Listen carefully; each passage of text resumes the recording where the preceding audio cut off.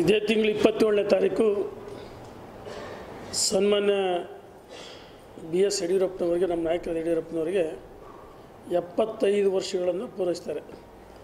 ಈ ಎಪ್ಪತ್ತೈದು ವರ್ಷ ಪೂರೈಸಿದ ಸಂದರ್ಭದಲ್ಲಿ ವಿಶೇಷವಾಗಿ ರಾಜ್ಯ ಭಾರತೀಯ ಜನತಾ ಪಾರ್ಟಿ ದಾವಣಗೆರೆಯಲ್ಲಿ, ಮಧ್ಯ ಕರ್ನಾಟಕ ನಮ್ಮ ದಾವಣಗೆರೆ, ಇದು ವ್ಯಾಪಾರ ಕ್ಷೇತ್ರ ಹೌದು, ಶಿಕ್ಷಣ ಕ್ಷೇತ್ರ ಹೌದು, ವಾಣಿಜ್ಯೋದ್ಯಮ ಕ್ಷೇತ್ರ, ಈ ಒಂದು ಸ್ಥಳದಲ್ಲಿ ಆಯ್ಕೆ ಮಾಡಿದ್ದು ವಿಶೇಷ. ದಾವಣಗೆರೆಯಲ್ಲಿ ಒಂದು ರೀತಿ ಗಂಡು ಮೆಟ್ಟಿನ ಭೂಮಿ. ಇಲ್ಲಿ ಕನ್ನಡ ಪಡ ಹೋರಾಟಗಳಿರ್ಬೋದು ಅದರ ರಾಜಕಾರಣಿಗಳು ಸಭೆ ಸಮಾರಂಭಗಳು ಇಲ್ಲಿ ಸಭೆ ಯಶಸ್ವಿ ಆದರೆ ಕರ್ನಾಟಕದಲ್ಲಿ ಅಧಿಕಾರಕ್ಕೆ ಬರ್ತಂಥ ಒಂದು ಎಲ್ಲ ರೀತಿ ವಾತಾವರಣ ಇದೆ.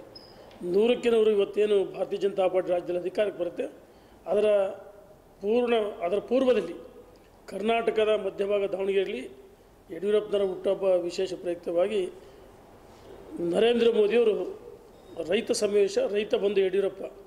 ಅಂದರೆ ರೈತರಿಗೋಸ್ಕರ ತಮ್ಮನ್ನು ತಾವು ಸಮರ್ಪಣೆ ಮಾಡಿಕೊಂಡಂಥ ಒಬ್ಬ ಮಹಾನ್ ನಾಯಕ, ಹಿರಿಯ ಜೀವಿ. ಎಪ್ಪತ್ತೈದು ವರ್ಷಗಳ ಅವಧಿಯಲ್ಲಿ ನಲವತ್ತೈದು ವರ್ಷಗಳ ಕಾಲ ರೈತರಿಗೋಸ್ಕರ ಹೋರಾಟ ಮಾಡಿದ ಒಬ್ಬ ಒಬ್ಬ ನಾಯಕರ ಪರವಾಗಿ ಸ, ರೈತ ಸಮಾವೇಶ ನಡೆಯುತ್ತೆ.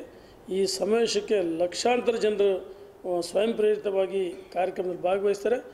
ಏನು ಭಾರತೀಯ ಜನತಾ ಪಾರ್ಟಿ ಅಧಿಕಾರಕ್ಕೆ ಬಂದ ಸಂದರ್ಭದಲ್ಲಿ ಏನು ಸನ್ಮಾನ್ಯ ಯಡಿಯೂರಪ್ಪನವರು ರೈತರ ಪರವಾಗಿ ಪ್ರತಿಪಕ್ಷ ನಾಯಕರಾಗಿದ್ದಾಗ, ರಾಜ್ಯದ ಅಧ್ಯಕ್ಷ ಆಗಿದ್ದಾಗ ಆ ರೈತರ ಪರ, ರೈತರಿಗೋಸ್ಕರ ಹೋರಾಟ ಮಾಡಿದರು.